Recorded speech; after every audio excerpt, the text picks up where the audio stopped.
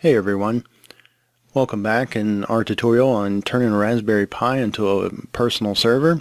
In the first part I kind of left a few things undone. I didn't get into configuring your Raspberry Pi and that was not intentional and so this time we're going to get into that and how to configure it and especially if you're uh, following along with the Raspberry Pi 3 which is the base for this whole uh, tutorial series um, we're going to have to connect to the Wi-Fi.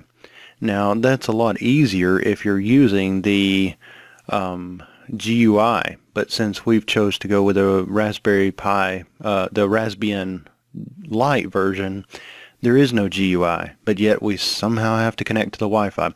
So we're going to go through all of that.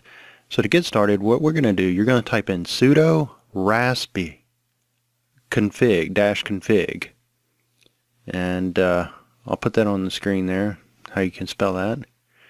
And the first thing will, it'll bring us into a menu. And if you remember in the first tutorial, I talked about changing the user password for the default user.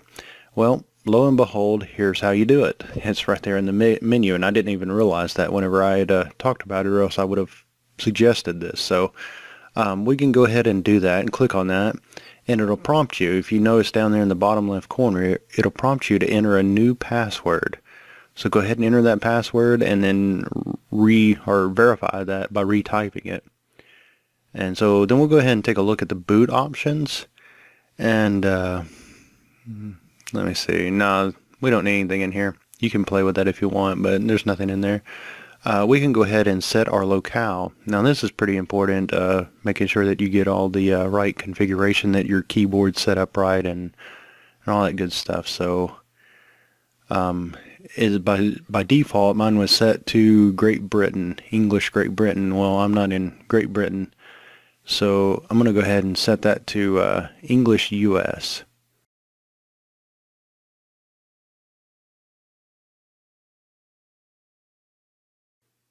Okay, and I went ahead and unchecked the one for Great Britain and alright, select English US.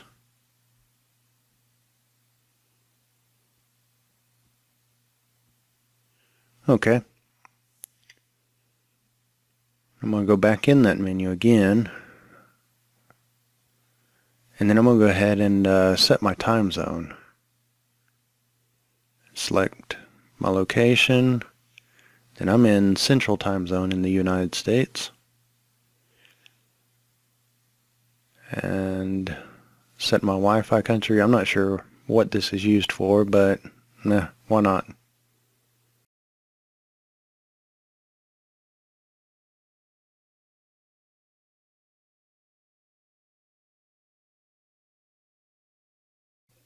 Okay. If you're using the Raspberry Pi camera module, that's where you could you would enable that module at. Uh, we're not doing that for now. Um, overscan. Now, if you noticed, my this video has a black border all the way around it. And what that is, that's the overscan. And I, I can't explain it to you. I'm not getting into the technical details, but let's just say it, it's putting a black border and we don't want that. Um, if you don't have the black border, then the overscan is fine. If you do and you want to get rid of it, there you go. This is how you turn that off, get rid of it. Now, it's not going to, uh, it's not going to change until I reboot. And as you can see there, I, I was kind of confused as to what, whether it was on or not. Okay, so we, we can go ahead and change the host name. This is going to be how it appears on your Wi-Fi network. I'm just going to go ahead and type uh, my Pi server. You don't have to do this. You can leave it like it is, but uh, just to make sure that it is unique and distinguished, we know that that's it. It's a good idea to go ahead and turn on your SSH server um, because, again, we're going to be connecting to it remotely more than anything, especially if we have a headless server. So once it's standing alone there, you're going to need to use the SSH, and I'll get more into that. And, uh, I'll try to put a link in the description and kind of go more into that and uh, at a later time. But okay, so we're going to go ahead and reboot, and this is going to apply all the new settings.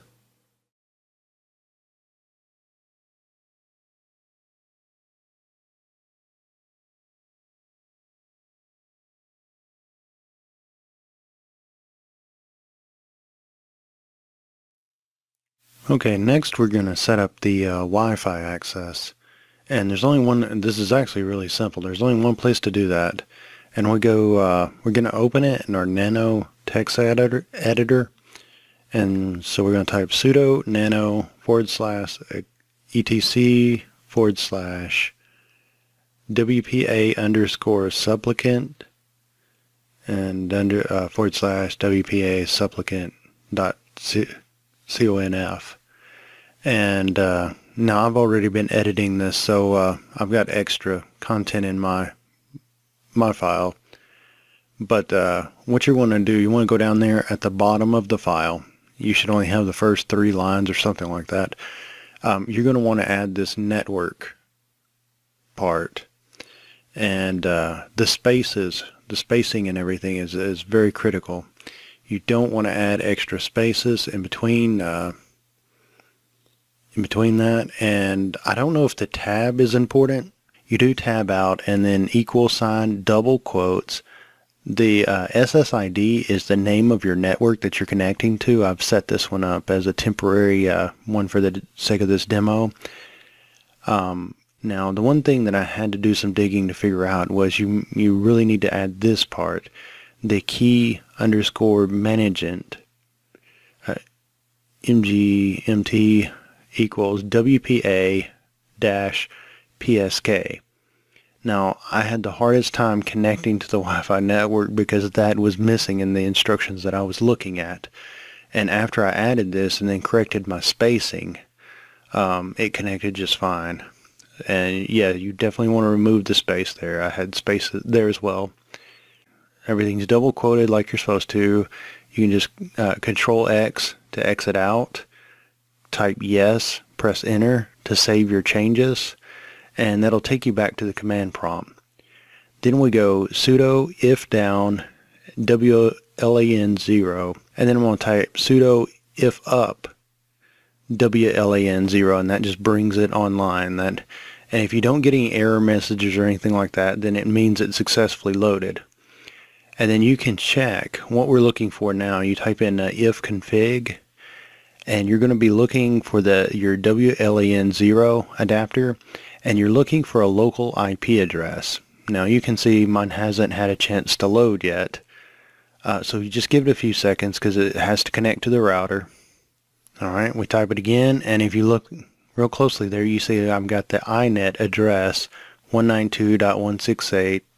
192.168.1.11 and that means I have successfully connected to my Wi-Fi network uh, because the uh, the router has uh, issued me an IP address. So I should be connected to the internet now. Now the way you can test it, I'm just going to use uh, ping real quick and I'm going to ping google.com. And as you can see, it's getting a return. I see the address, the uh, IP address of google.com. And so yeah, we're connected to the internet. And to stop this, you can just press uh, Control C. All right. and then we're going to go ahead and run uh, apt-get update. Now this is going to update our source list and this is important. You need to run this uh, especially before installing new software and stuff like that. You want to uh, you want to go ahead and run this to make sure that you're using the latest repositories and that you're running the latest software. Now this is not going to update the software. This just updates uh, updates your sources and make sure that they reconcile and everything.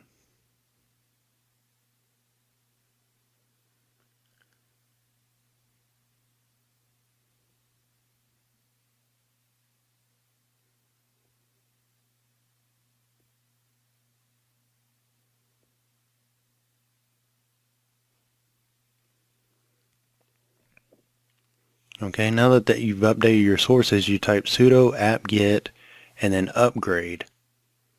And now this is going to, it's going to tell me that, okay, I've got some new updates. Go ahead and type yes if I want to continue.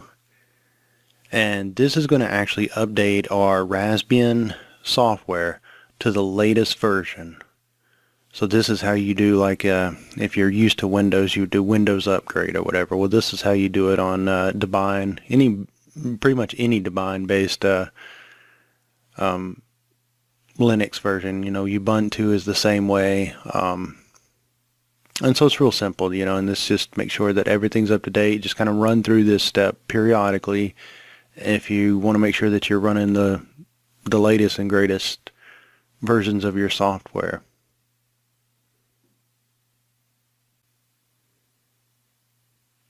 All right, mine took a bit longer than I expected. Um, and had a pretty major update. It updated the kernel and everything, which is like the whole system. So as small as the, as limited as the things were that needed, uh, that there were to update, it still was a pretty big update. So it took a little longer, and I've fast forwarded and sped it up. So, um, well, anyways, now we're done. Your system's updated, and it's configured, and we're ready to move on. So now you're connected to the internet. You know how to connect via Wi-Fi now, via the command line. That was really hard information for me to find that was accurate uh, and actually worked. So hopefully that helped you out. Anyway, so that should conclude this part of it. And no more tutorials on configuration and just playing, you know, screwing around with the operating system. Now we're ready to really get, uh, dive into setting up our own server, installing the apps that, or the packages that are going to make it cool, and anyway, so thanks a lot for watching and be sure to like, subscribe, share, and I will see you next time.